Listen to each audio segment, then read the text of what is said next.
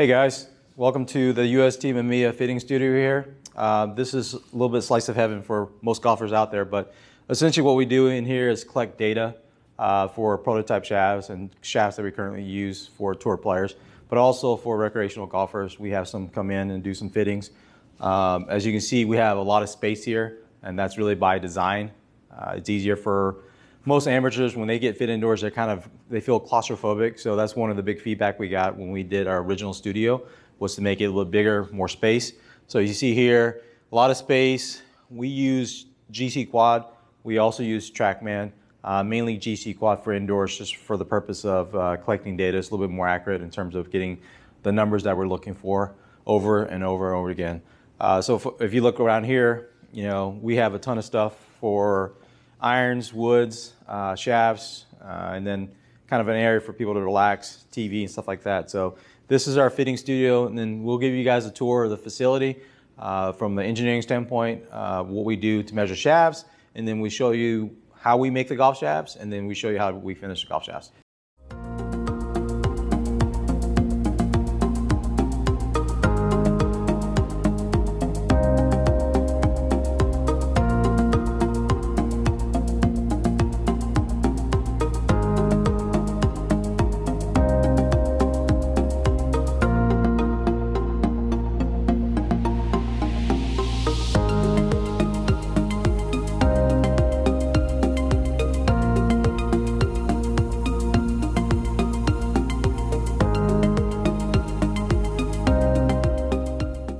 Hey guys, come along. Uh, now we're going to go into the engineering build area. Uh, we have a little build area here just for the purposes of just really prototype testing and then also building for uh, some golfers out there. But for the most part, is really prototype building. Not a big build for us because it's not our focus, but we need something here. Um, this is where we're really the engineers when they develop the, the shaft we need to test the data in terms of the numbers whether it's the cpm the butt stiffness the mid stiffness, tip stiffness, whether it's HST, De La Cruz model, or the torque that we come in here and validate what we see on the, the simulation. Um, so the first thing, you know, typically we kind of go in order.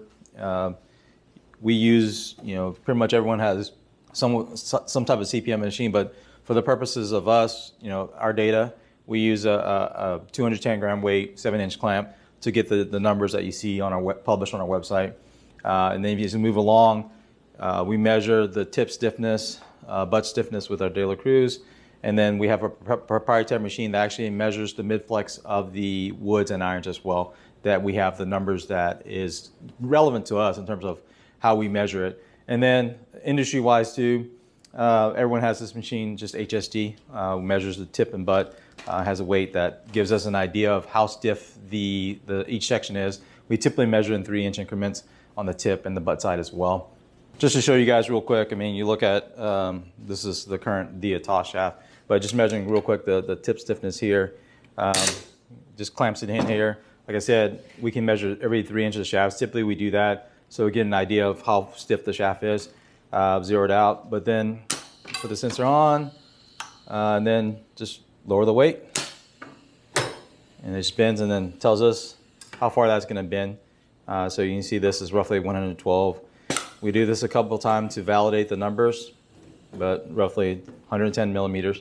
So that tells us how stiff the tip is. Uh, typically, the uh, the lower the number, the stiffer it is. The higher the number, the softer it is. The higher number, actually, the weight's going down further, so a little bit softer overall.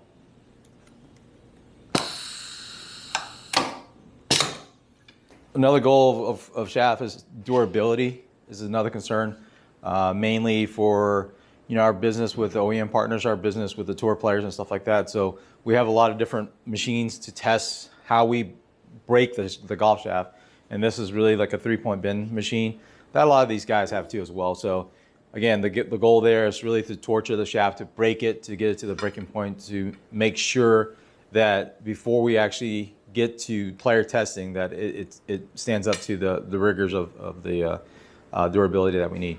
Uh, so that's the engineering room. Uh, next place we want to show you guys, really just real quick, is going to be the rolling process where we roll the golf shaft uh, and, and really how that's that goes about doing.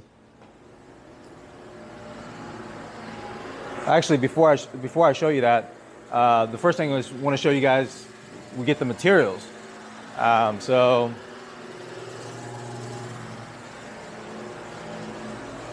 uh, as you know, like uh, carbon fibers and uh, resin stuff like that, it requires it to be kind of cool. Otherwise, if you have it in hot humid weather, the resin system is going to really delaminate. You're going to have issues with golf shafts if you start making it with that. So first thing we do is actually come in here and show you guys. Again, all shaft manufacturers, quality shaft manufacturers will have a facility like this where they're focused on getting the best materials from different uh, suppliers, and all the companies have this. So it's nothing unique here. It's just want to show you guys. The, the technicians will grab the materials that they need, come in here, get the materials, and then go to the rolling table and cut accordingly.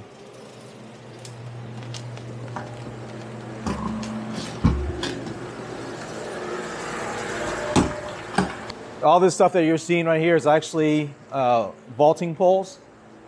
So we, uh, we specialize in making carbon tubes. So anything that, that is a tube structure, we can make like arrows, vaulting poles, cues, and stuff like that.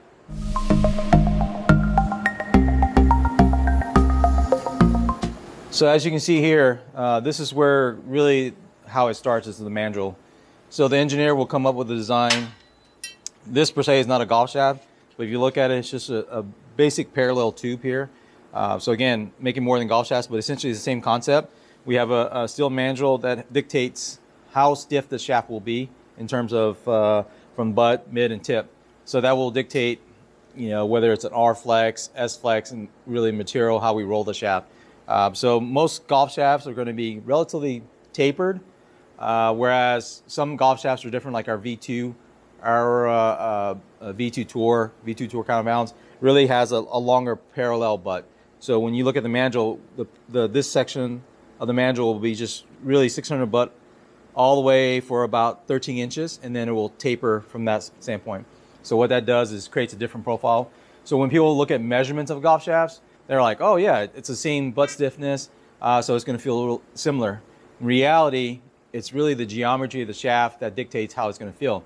V2 is going to feel a lot stiffer because the longer parallel butt section, even though it will frequency out or the CPM be a lot lower than, let's say, what you're used to. Let's just say like a 275 it might frequency out to 260, but it's going to feel just as stiff as the 275.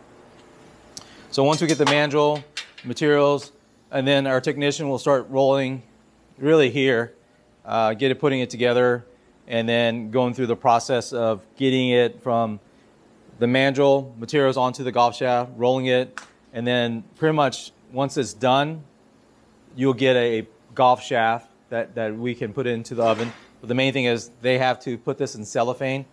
Cellophane will tighten the structure up, and then we put it into the oven. And once it comes in the oven, uh, then we take it out, and then we go do the finishing process.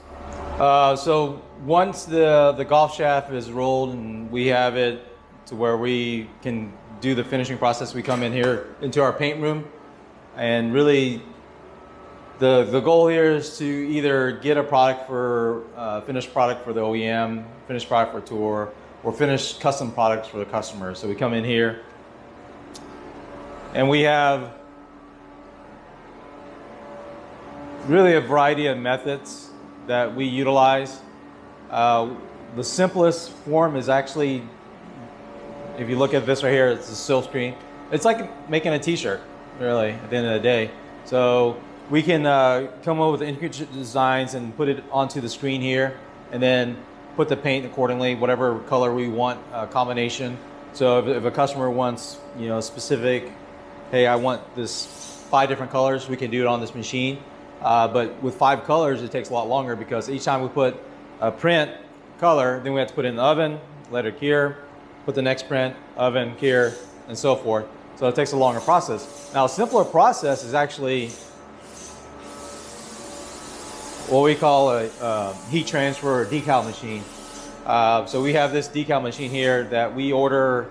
It's essentially a big sticker, right? You put it on, uh, you put the golf shaft on here, heat pad, and there's a the decal that puts on there and then rolls it onto the golf shaft. So it gives you the graphics in one step and then we can finish it and it'd be a lot faster. Uh, so less labor intensive uh, and also it's a little bit better details with decals. Uh, but both methods are easy to do. It's just a matter of which one we choose to do from a production standpoint. Uh, so those are really the couple of methods to get the, uh, the, the look of the shaft in terms of the graphics. In terms of the finishing of the shaft, the, the actual color of the golf shaft, whether you know, a golf shaft comes out, we sand it, and it's just a black shaft. So now we need a color, whether it's white, black, blue.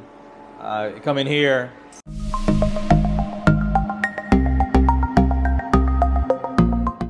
And we have all these different types of paints that we're, we're utilizing to get the color that we're after. Uh, this is real simple. Everyone does this. Uh, if you look at this right here, it's what we call a squeegee method, and it's just the paint in there. Right now, this is actually a purple paint. Uh, the technician uh, will actually just put the golf shaft in there and pull it, and it gives it the color that we're, we're going after. Now, so, certain colors are tougher than others because you're thinking about the tube, it's, it's actually a black tube. So when you make a, for example, a yellow shaft, a certain yellow, you can't just put the yellow on there. You have to put certain colors on there, whether it's a white on the, onto the shaft and then the yellow. Uh, so there's different color combinations that the technician will figure out how to make that golf shaft in the marketplace.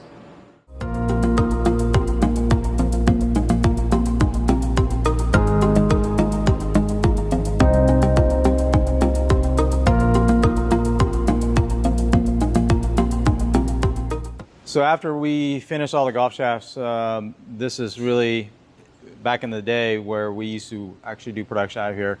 We'll put it into inventory. So you see, we have literally thousands upon thousands of golf shafts here uh, for you know the aftermarket partners, for customers and stuff like that we can pull and test. So ton of different shafts, everything you can think of in terms of recoils to ProForce V2 to Elements Platinum and all the different products out there.